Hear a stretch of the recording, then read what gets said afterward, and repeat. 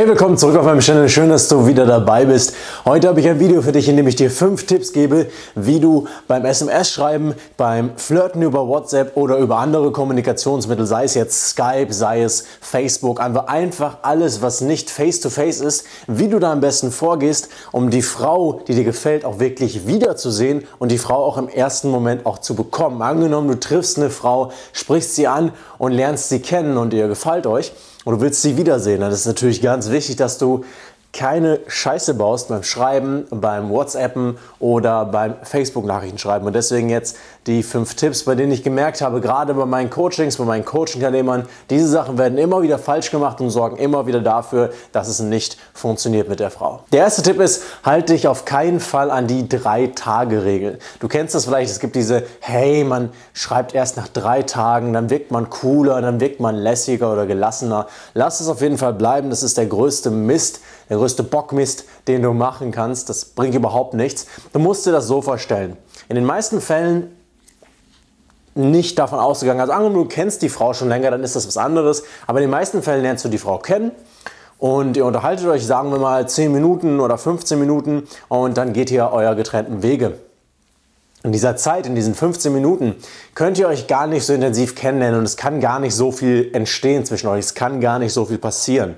Die Motivation, die die Frau hat, dich wiederzusehen, kann gar nicht so groß werden. Ist ja logisch. Angenommen, ihr verbringt mehrere Stunden miteinander, dann kriegt sie ein viel besseres Bild von dir, dann erlebt ihr viel mehr Sachen zusammen, ihr erlebt mehr gemeinsame Emotionen zusammen und dann ist auch die Wahrscheinlichkeit, dass ihr euch wiederseht, größer. Jetzt habt ihr aber nur diese 15 Minuten und du musst dir das so vorstellen. Bei der Frau ist es so, sie trifft dich, freut sich, ihr habt ein geiles Gespräch, dann geht sie ihre Wege, dann erlebt sie da was Interessantes, da sind Emotionen, da kommen vielleicht schlechte Emotionen, da erlebt sie gute Emotionen. Und wenn das über drei Tage passiert, wenn sie über drei Tage tausend verschiedene andere Dinge erlebt, dann wird sie vergessen haben, wie es sich mit dir angefühlt hat. Deswegen mache ich es immer so, ich schreibe der Frau meistens sehr direkt, nachdem ich sie angesprochen habe. Jetzt gestern habe ich gerade, oder gestern habe ich eine kennengelernt, die habe ich heute Morgen geschrieben. Das war für meine Verhältnisse tatsächlich sehr, sehr lang. Aber ich schreibe ihr meistens relativ schnell. Du kannst ihr auch kurz nach dem Kennenlernen schon schreiben. Ja, ist vollkommen, vollkommen in Ordnung. Aber warte nicht drei Tage oder mach irgendwas, um cool zu wirken. Schreib ihr dann, wenn du Lust drauf hast, wenn du auch Zeit hast, nimm dir einen Moment Zeit und dann schreib ihr. Das funktioniert viel besser. Die zweite Sache ist, dass viele Männer falsch verstehen, wozu Schreiben oder Kommunizieren über WhatsApp, SMS und so weiter überhaupt da ist. Es ist nicht dafür da, um sich jeden Tag in jeder Sekunde auszutauschen, damit du ihr alles erzählst, was du erlebst und sie dir alles erzählt, was sie erlebt. Das kann man mal machen, aber das ist nicht der Hauptgrund, warum wir das benutzen. Der Hauptgrund ist einfach, um sie dazu zu bekommen, zu dir zu kommen, dass ihr euch wiederseht, dass sie zu dir kommt, dass du zu ihr kommst, dass ihr euch wieder trefft an einem gemeinsamen Ort.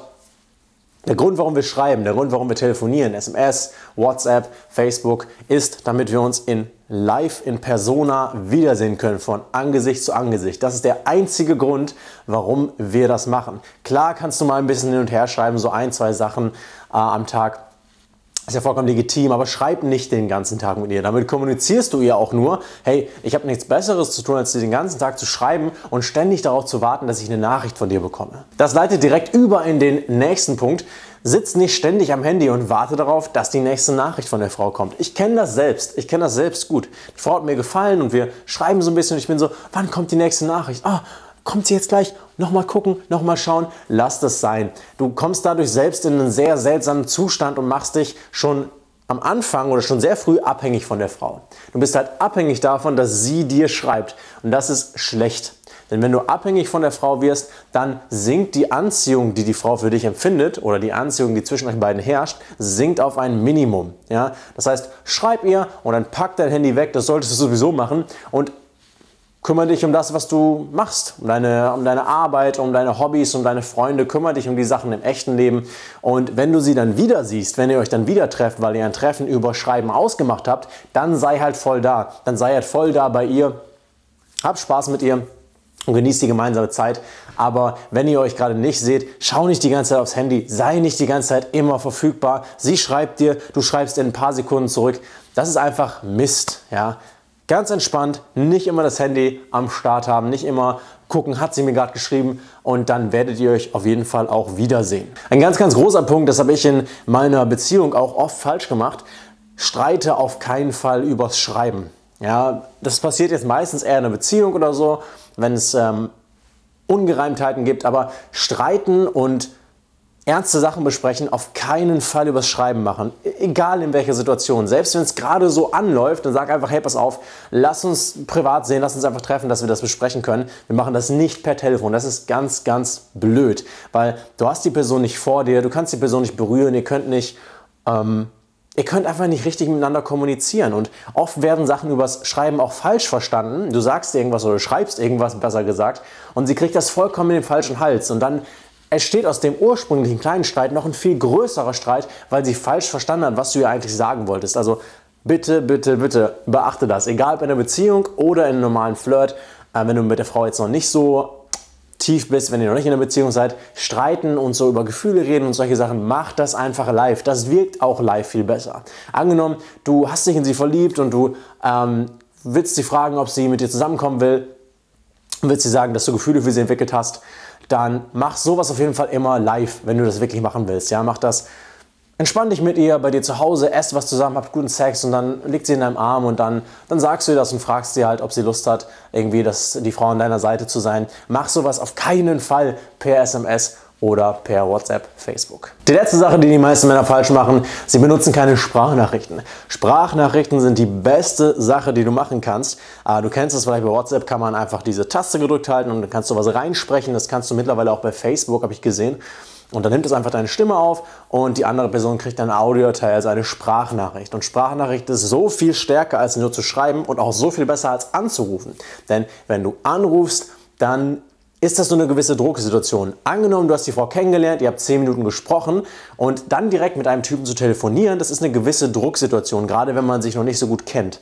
Und Schreiben ist halt blöd, weil du kannst nicht mit deiner Stimme arbeiten, du, Sachen können falsch verstanden werden, du kannst nicht äh, mit deiner Tonalität arbeiten, du kannst nicht ironisch sein, du kannst nicht richtig sarkastisch sein, weil dafür brauchst du halt deine Stimme, dafür brauchst du deinen äh, dein Stimmkörper. Aber das kannst du eben über Sprachnachrichten machen. Sprachnachrichten sind auch viel persönlicher und sorgen dafür, dass du und die Frau viel schneller eine Verbindung zueinander aufbaut. Und du weißt, wenn man eine Verbindung aufbaut, dann entsteht auch mehr Anziehung. Und das ist eben der Weg hin zu Sex oder auch zu einer Beziehung. Das war's im heutigen Video. Wenn du lernen willst, wie du sehr, sehr viele Dates die Woche haben kannst, quasi jeden Tag die Woche ein Date haben kannst, denn das ist mehr als möglich. Wir haben eine ganze Menge Frauen da draußen. Dann klickst du einfach mal hier oben auf das Bild. Da kannst du dir mein Buch, mein gratis E-Book ist auch ganz kurz, Fünf einfache Schritte bis zu zehn Dates die Woche runterladen. Ich habe einfach die wichtigsten Sachen zusammengepackt und du kannst sie wirklich in kürzester Zeit lesen und dann direkt umsetzen. Du bekommst zusätzlich von mir noch ein paar andere Flirt-Dokumente, in denen du zusätzlich Sachen lernst, die dir dabei helfen, die Frauen zu bekommen, die du in deinem Leben haben möchtest. Ich freue mich, wenn du das nächste Mal wieder dabei bist. Wir sehen uns und bis dann. Ciao.